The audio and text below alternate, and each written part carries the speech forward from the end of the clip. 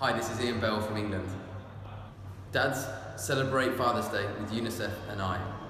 Share a special dad moment with your little one with the hashtag early moments matter.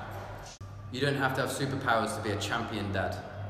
Make sure you enjoy every moment while the kids are young, cherish every moment,